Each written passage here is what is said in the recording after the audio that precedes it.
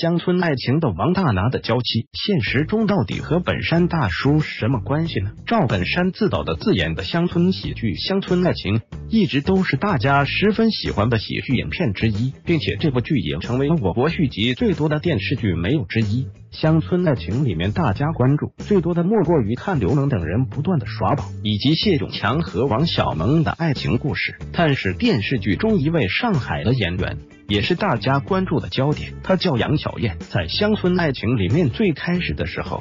她扮演的是一位成功的女强人，和大老板王大拿见面之后，王大拿也是展开了疯狂的追求，后来两个人也成功的结为夫妻。其实杨小燕是赵本山的一位女徒弟，一次偶然的机会和赵本山相识之后，赵本山就开始带她参演的乡村爱情。曾经记者这样问了杨小燕：“您在乡村爱情里面和赵本山老师扮演父亲，会有不自在的感觉吗？”杨小燕表示：“还好，还是非常自然的。”